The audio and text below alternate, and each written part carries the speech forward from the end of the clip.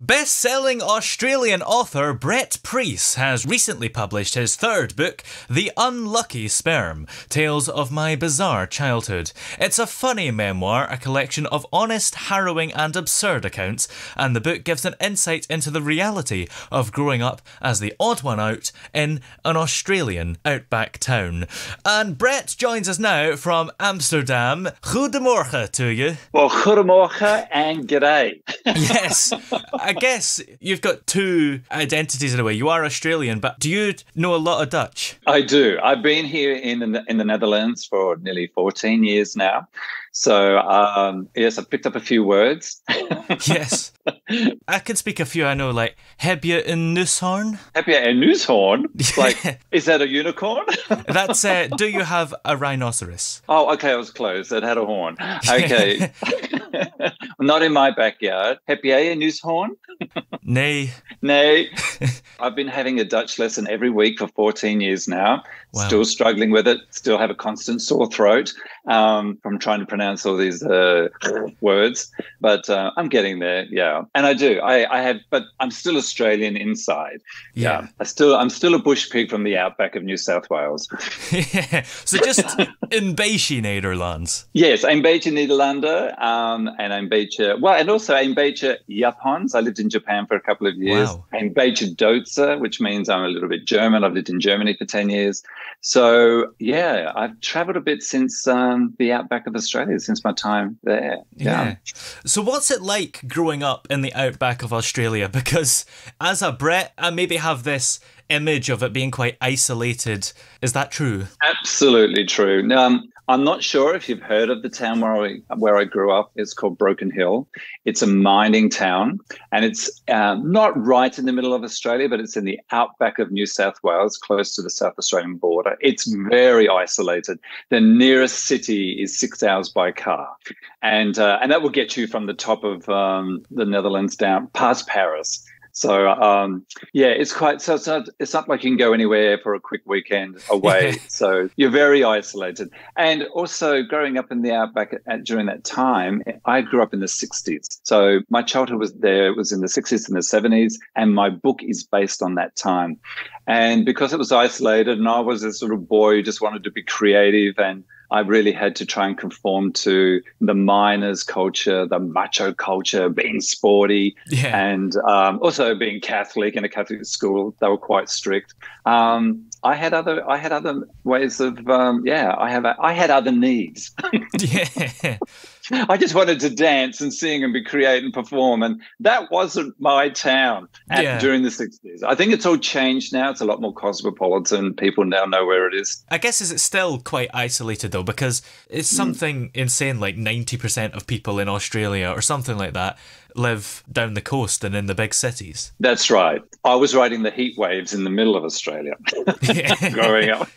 Like it was very, very isolated. And we didn't go away very often. So, yeah. But at the same time, I don't want to trash Broken Hill. It was just my experiences. Going back there now is an incredible city. It is more cosmopolitan. And because um, you know, people, um, it's kind of like people go there and make their own fun. So yeah. probably all the sa- same, the same thing in the in the UK that if you're an isolated town, um, that you tend to make your own fun. You don't have a lot of fun to go to, like lots of musicals, theatre, and opera, and so on. So you create your own fun, and that's what I did to try and cope yeah. with all the harrowing stuff that was going on around me. The town is called Broken Hill, and is that what it's actually called, or is that some kind of affectionate name? Because it just seems so random. No, no, it is actually called Broken Hill, and I actually do outline that in my book um, how that all started, just a little bit of history of it. So it, uh, yeah, it's a mining town, and a couple of hundred years ago there was a guy called Charles Rasp who was an explorer, and he went from Adelaide, went up north to try and see if he could find silver or gold and he found on a range in the outback a crop of, of um, hills and rocks. He saw something shining and he thought it was tin. And uh, when he went and took a sample of it and sent it back to Adelaide to the laboratories, they went, "No, it's silver." And wow. so, and he said, "Well, I just found it in a broken hill. Like he actually broke the hill, and uh, and the mining started there. So yeah, that's how it started and became one of the richest actually in the world for silver, lead, and zinc. So Yeah. um, yeah, and so my dad was a miner. Uh, my brothers were miners. I was for about a day. I realized it wasn't for me. I was like getting my hands dirty. That's insane. Only a day. Yes. Because in an isolated place like that, is there more of a kind of maybe family tradition where you're going to do what your parents did, whether that's being a farmer or a miner or something like that? It was the tradition and it was the expectation, especially in the 60s and the 70s, because even in the 60s at that time, women, married women, weren't allowed to, allowed to work. And so mum couldn't work. And so the tradition was that the boys um, would always go to school, get a good education, and so on. And then you'd go on the mines. And it was quite a good job at the time in terms of um, the money and so on. But people didn't have anything to spend the money on. So they would just spend on alcohol. And it was like a pub on every corner of the town.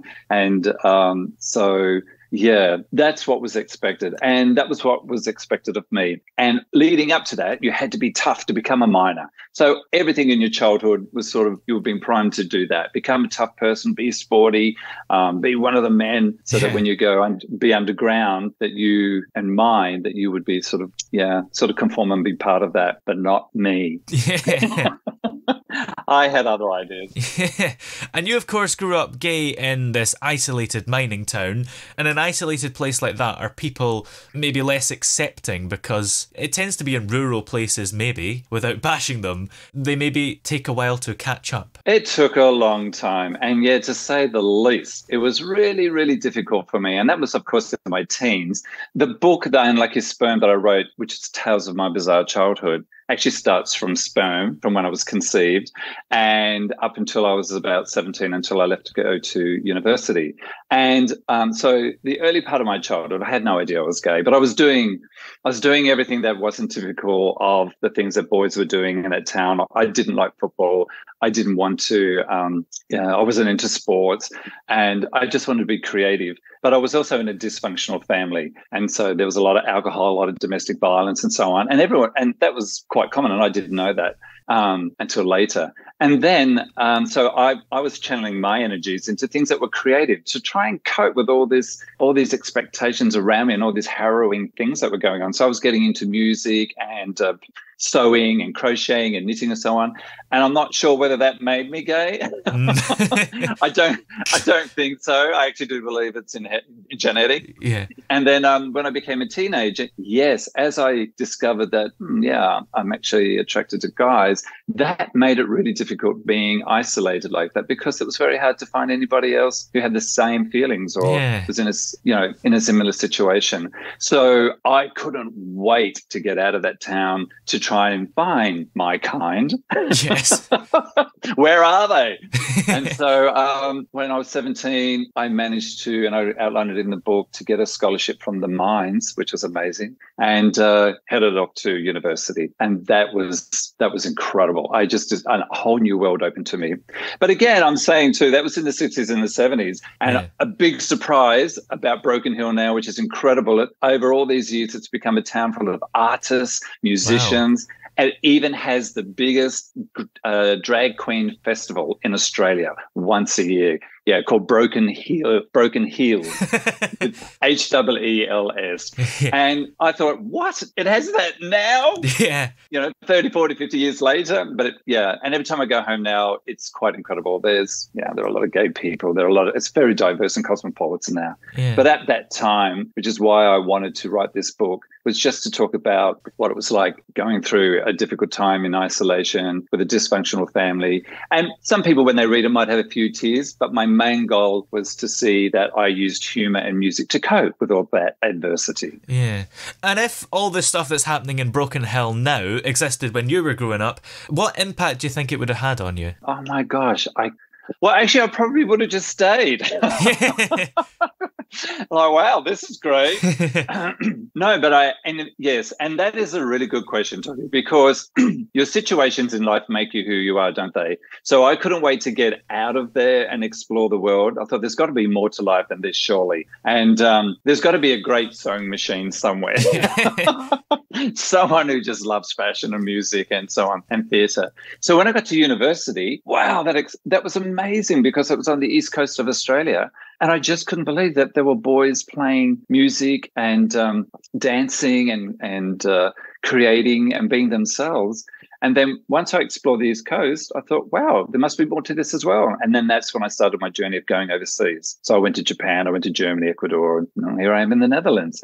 So if I didn't have that, probably that, you know, those awful experiences or those tragic um, times, then it wouldn't have really spurred me on to really be where I am today and have the life that I have had, which has been amazing. Just been quite, yeah, quite yeah. an adventure. And the book is called The Unlucky Sperm. Why is it called that? And why is the un part in brackets? Good question. So it, the un is in brackets at the beginning. So it raises the question to the reader before they read it Is this about a guy who was a lucky sperm or an unlucky sperm?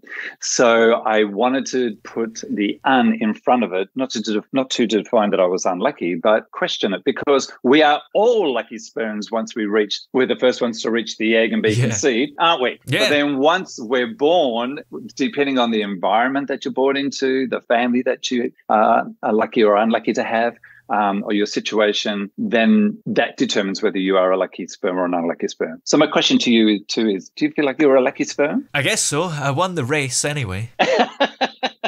exactly. I mean, yeah, that was a good start. We I made it to the uh, egg first. Yeah. Um, and so yeah, and so that's why I called it that because I wanted readers to think as if they were reading, oh, is this guy was he lucky or unlucky? And of course, because it is a funny memoir, there were tragic things that were going on in my life and um, in my childhood with my family and so on. But some people read it and say, oh, that was unlucky. That was a terrible thing to have happened. But I actually turned every lemon into a lemonade, every situation that I could. Wasn't wasn't exciting and happy at the time. And I think there was somebody who actually said once that comedy is tragedy plus time. And I think, you know, you just need to have a bit of space and distance from a tragedy to be able to then look at it and laugh at it if you can. And that's the that's the message of my book is that to give people hope, um, because I talk about a whole range of sensitive issues in the book. Every chapter is a vignette. Every chapter is a story on its own. And so um, they cover a whole range of things from Catholicism, domestic violence, being gay in an isolated town, isolation, a whole range of things. And so uh, it res- it has resonated with people from various um, parts of life. You know, people look at it and say, "Oh, yeah, I experienced that as a Catholic kid." Oh, yeah, I experienced that with domestic violence. And so the message is, yeah, well, you know, you can survive that, and you could probably rewire it if you look at it with humor yeah. and try to laugh it on, so that as a tool to help you move forward. Some people can't, and they might be they might end up becoming the unlucky sperm because they end up becoming miserable for the rest of their lives. But but my goal is, and my goal, and I was determined to try and turn those lemons into lemonade and say, no, well, I'm going to use humor and music to help me cope, which I did as a kid and I still do today. And this is, of course, your third book. So are there yes. plans for a fourth and even more? Absolutely. Um, there is a sequel to this one, and I'm writing it at the moment because I have been a lucky sperm in publishing it and it's doing really well. and, and this particular book goes up until when I was 17, when I left home there were a lot more bizarre experiences since then yes. as a young adult in my 20s and yeah. 30s. And still today in Amsterdam, I'm having some bizarre experiences. Doesn't everyone? yeah, there's a book there, uh, many books, many books to follow. So, yeah, I hope. Excellent. Well, where are we able to find your book, The Unlucky Sperm, if we want to read it? Where? Yes, you can definitely get it on all Amazon platforms, whether it's in the UK or American, like Amazon amazon.com. Uh, you could even just go to your local bookstore and ask for it, and they can order it for you um, because it's yeah it's registered as a published book. Um, yeah, but um, yeah, lots of different media platforms. Uh, like in, in uh, I'm just trying to think of the ones that you might have in the UK because in the Netherlands we have one called Bol.com, but they're all connected to Amazon. So the main one would be Amazon.com, or in the UK would be Amazon.co.uk. Just type in the unlucky sperm, and uh, you'll find it there. There's an audio vo- uh, an audio version, an audiobook version. There's an ebook and the paperback. And the audio book I would like to promote because I was so lucky to get Miles Pollard, who was is a well-known Australian actor, and uh, he did the audio book version for me, and he nailed it.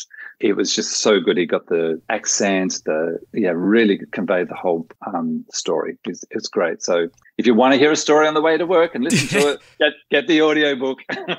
Excellent. Well, thank you, Vel, for coming on today. Graag gedaan. Your Dutch is amazing, Toby. Doei. Okay, dankjewel en dag.